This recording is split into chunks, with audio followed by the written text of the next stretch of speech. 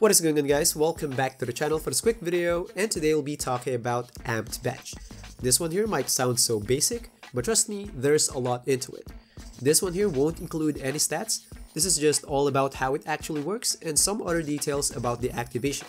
And by the way, if you haven't watched my recent videos yet, these ones here will be on the channel, would be really awesome if you guys can check it out. So now, let's get right into it.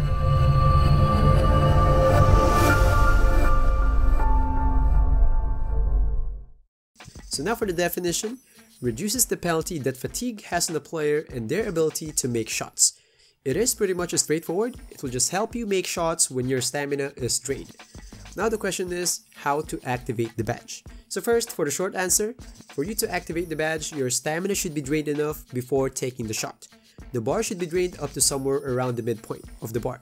And in terms of shots, it can work on twos, threes, fades, step backs, pretty much on all jump shots. That's the short answer, but if you want to really know how it works, I'll show you these. The reason why I can't tell you a legit point, like the exact minimum drain requirement, is because it keeps on changing. And here you can see it's almost at the half of the bar, and badge still didn't activate.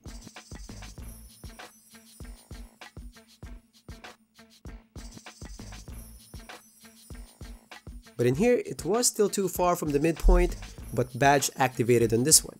The big difference between them is with this one here, I took the shot straight away. And with this one here, I stopped for a while before taking the shot. Of course, you can still activate the badge even you stopped for a while before shooting. That sequence there could have activated the badge if the stamina was a bit lower. What I'm trying to say here is that the badge activation doesn't rely on stamina bar alone.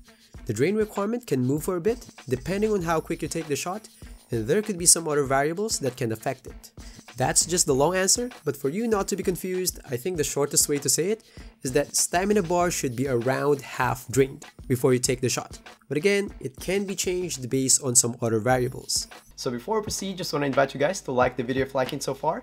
And if you're new here, I'm Tutes and I do lots of detailed testings on stuff like badges, attributes, jump shots, dribbling styles, and lots of other stuff and I'm doing YouTube full time, so expect a lot of videos. Last year, I made like around 400 videos, so make sure to subscribe so you won't miss out. Trust me, I got you covered for the whole year. Now going back, here are some other details about the badge. I know this badge leaves an impression of being a play shot badge, like after you burn your stamina while dribbling, this can boost your shots, but maybe some players don't realize that it can be used on catch and shoots as well. If you burn your stamina running around off ball, if you take the shot with stamina drained accordingly, this badge will activate. Next one, we all know draining your stamina can make your shot slower, but this badge here won't help you make it faster. It doesn't touch shot speed. In here, that's Hall of Fame amped, and this one here doesn't have it, and their shot speed are just the same. Next one, doesn't matter what upgrade you have, the drain requirements remain the same. Next one, in terms of stacking with other badges, it pretty much work on lots of shooting badges, like catch and shoot, agent 3, corner specialist, volume shooter, and lots of others.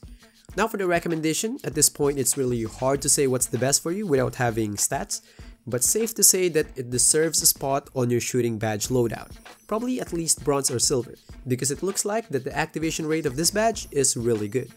So that's all for the video. If you guys like it, please smash that like button and please consider subscribing for more videos. And don't forget to drop by the channel for lots of other contents. And as always, stay safe and happy gaming guys. Peace.